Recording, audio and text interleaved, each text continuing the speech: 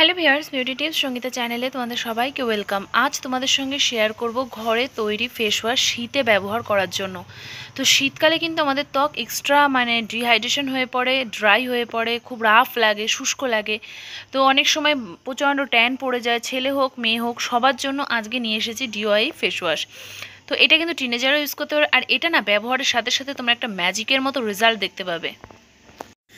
যখনই ব্যবহার করবে, তোমাদের ত্বক হয়ে উঠবে ইয়াং, গ্লোয়িং এবং সফট। তার জন্য সবার প্রথমে বেসন নিয়ে নেব।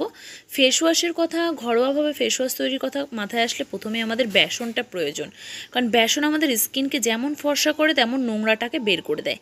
তার সাথে নিয়ে নেব আমি মধু মধু এখানে মোটামুটি হাফ চামচের একটু কম মধু নিয়ে নিলাম। মধুটা দিলে আমাদের স্কিন ময়শ্চারাইজিং থাকবে, গ্লোয়িং থাকবে এবং উজ্জ্বল লাগবে। তার সাথে নিয়ে নেব এক চামচ কাঁচা দুধ, র মিল্ক। তো কাঁচা দুধ, কাঁচা গরুর দুধ কিন্তু খুব ভালো আমাদের ত্বককে ক্লিন করার জন্য, ক্লিনজিং করার জন্য এবং তার সাথে সাথে স্কিনকে ভীষণ ভালো একটা হোয়াইটনিং এফেক্ট দেবে। তো দেখো তিনটে উপাদান আমি একটুখানি মিশিয়ে নেব।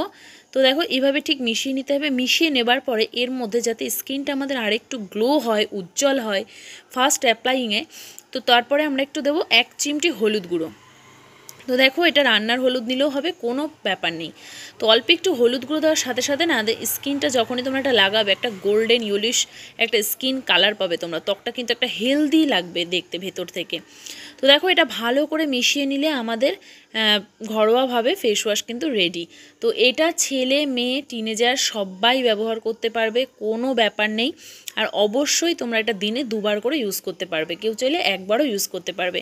ব্যবহার করে স্কিনে ভালো করে মাসাজ করে নেবে এক থেকে দু মিনিট, তারপরে ধুয়ে ফেলতে পারো। কেউ চাইলে পাঁচ মিনিট স্কিনে রেখেও দিতে পারো, আরও ভালো বেনিফিট পাবে। তো বন্ধুরা, আশা করি ভিডিওটি ভালো লেগেছে হেল্পফুল ভালো লাগলে একটা লাইক করে দিও কমেন্ট করো, আর অবশ্যই তোমাদের বন্ধু বান্ধবীদের সঙ্গে শেয়ার করো। ধন্যবাদ।